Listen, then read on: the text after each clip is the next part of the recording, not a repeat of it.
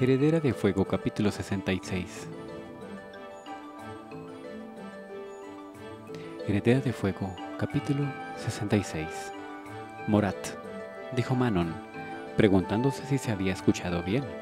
¿Para luchar? Su abuela se apartó de la mesa, con los ojos destellantes para servirle al duque, justo como ordenó el rey.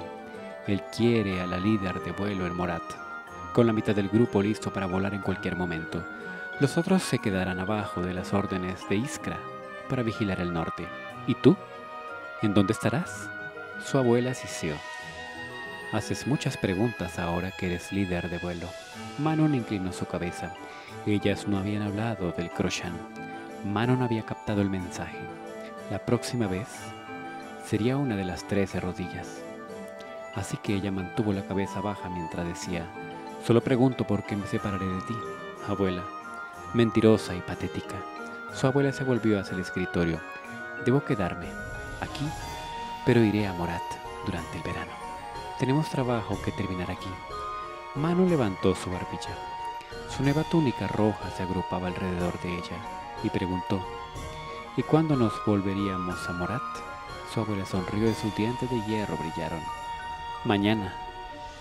Incluso bajo el manto de oscuridad, la cálida brisa primaveral estaba llena de pasto fresco y nieve, ríos derretidos solo interrumpido por el sonido retumbante de las alas, mientras Manon llevaba al grupo al sur, a lo largo del colmillo.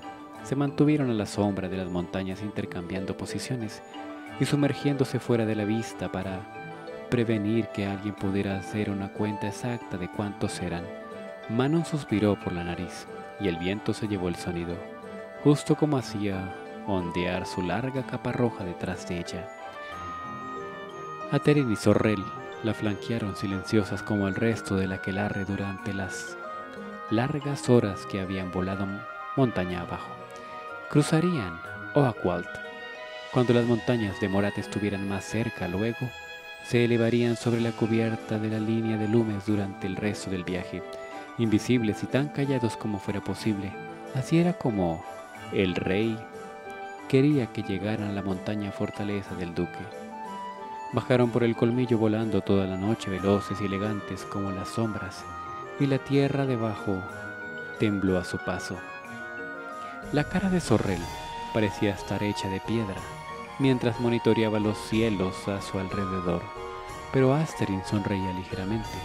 No era una sonrisa salvaje o una que prometía muerte sino una sonrisa calmada de estar volando y rozando las nubes donde pertenecían las Black Peak, a donde pertenecía Manon. Asterin captó su mirada y sonrió aún más, como si no hubiera un sinnúmero de brujas volando detrás de ellas y Morat, yaciendo al frente su prima, volvió su cara hacia el viento, respirándolo, exultante. Manon no se permitió saborear esa hermosa brisa. Ah, abrirse esa alegría tenía trabajo que hacer. Todos lo tenían a pesar de que el Croshan había dicho. Manon no había nacido con un corazón o un alma. No los necesitaban.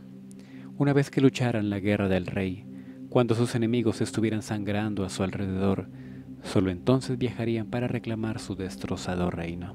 Y ella por fin se iría a casa.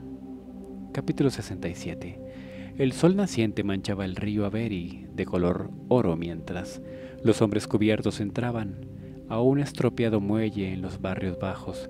Los pescadores esperaban el día, los juerguistas trastabillaban por la noche y Ridhold seguía durmiendo. Ignorante de lo que había sucedido la noche anterior, el hombre sacó una encantadora espada, su pomo en forma de águila relucía con la primera luz del amanecer.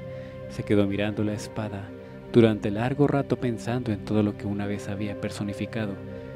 Pero había una espada nueva en su costado, la espada de un antiguo rey, de una época en que los buenos hombres habían servido a los gobernantes nobles y el mundo había prosperado debido a esto.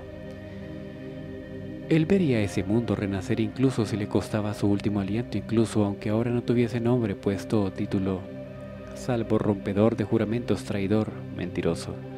Nadie se dio cuenta cuando la espada fue arrojada al río, su empuñadura atrapando el sol y ardiendo como fuego dorado un destello de luz antes de ser tragada por el agua oscura, para no ser vista nunca más. Capítulo 68 Resultó que la parte de su misión era un juramento de sangre, era algo que Rowan le gustaba interpretar como le conviniera. Durante sus dos semanas de caminata hacia el puerto más cercano en Wendling, se pasó dándoles órdenes a Saelina cada vez más, creyendo al parecer que ahora ser parte de su corte eso le otorgaba ciertos derechos innegociables respecto a la seguridad de ella.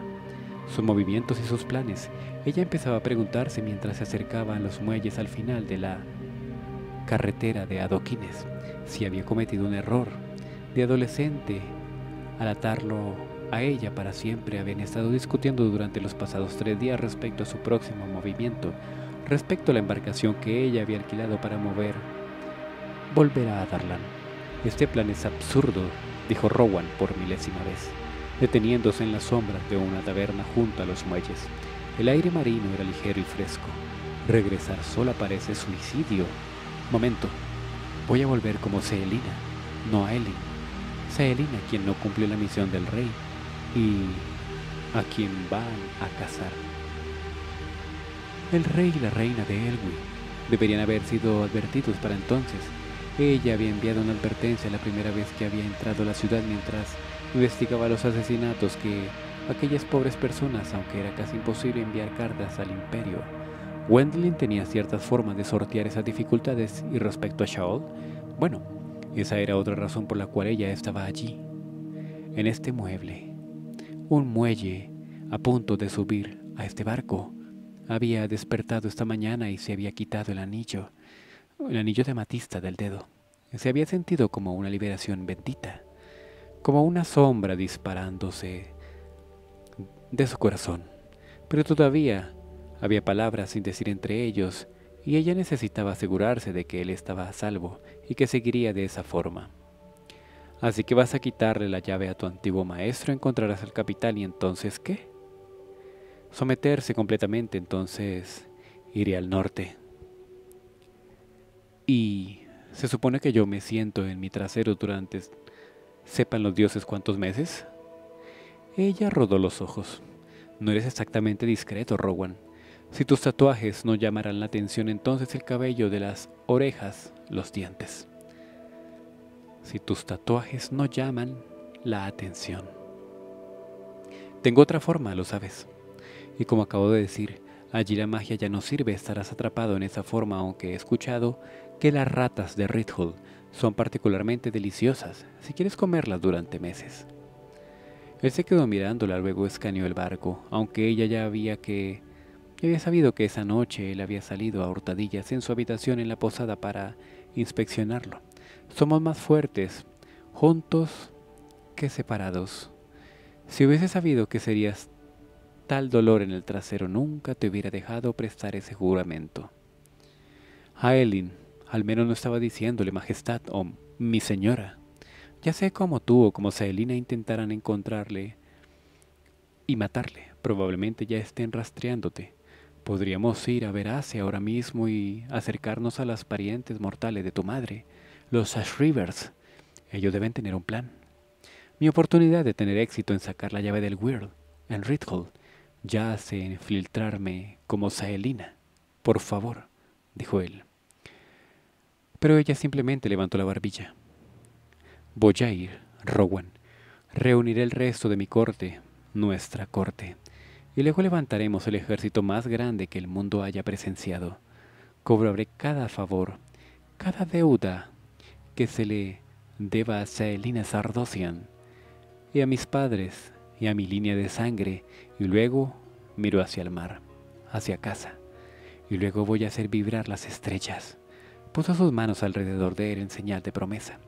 Pronto enviaré a alguien por ti pronto. Cuando sea el momento correcto, hasta entonces intenta ser de utilidad. Él sacudió la cabeza, pero le dio un abrazo rompehuesos.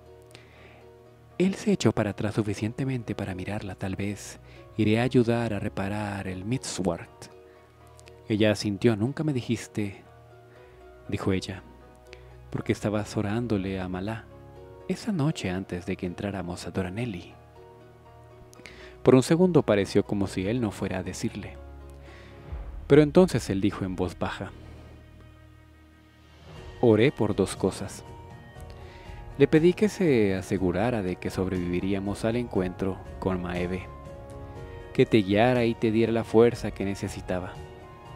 Esa extraña y reconfortante calidez, esa presencia que le había tranquilizado. El sol poniente le besó las mejillas como confirmándolo, y un temblor le bajó por la espina. ¿Y la segunda? Fue un deseo egoísta y la ilusión de un tonto. Ella leyó el resto de sus ojos, pero se volvió realidad. Peligroso para un príncipe de hielo y viento. Orarle a la portadora de luz. Ella se las arregló para decir. Rowan se encogió de hombros con una sonrisa secreta en su rostro mientras limpiaba la lágrima que había corrido por la mejilla de ella.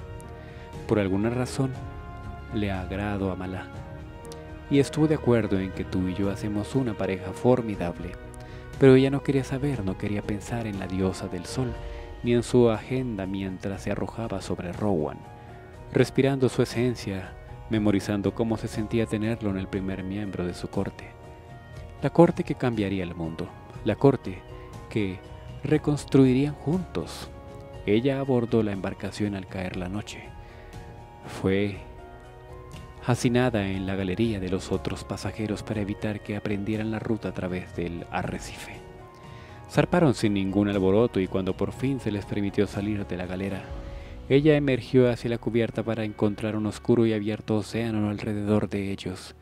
Un halcón de la cola blanca todavía volaba sobre sus cabezas y descendió bajo para rozarle el ala de color plata como las estrellas, contra la mejilla en despedida antes de volver con un agudo gañido. Sin la luz de la luna trazó la herida en su palma, el juramento a Nehemia. Recuperaría la primera llave del Weird de a Robin y localizaría a las demás. Y luego encontraría una forma de poner las llaves del Weird de vuelta en su puerta. Liberaría la magia, destruiría al rey y salvaría a su gente, sin importar las adversidades, sin importar cuánto tiempo le llevará, sin importar cuán lejos tuviera que ir. Levantó la cara hacia las estrellas.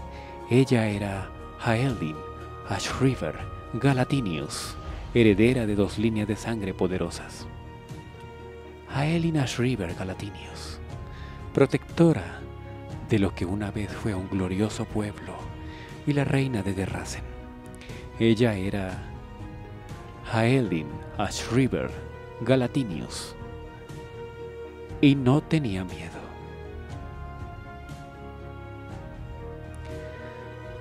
Deseamos que hayan disfrutado de su lectura. Los esperamos en la próxima de Trono de Cristal de Sara J. Maas.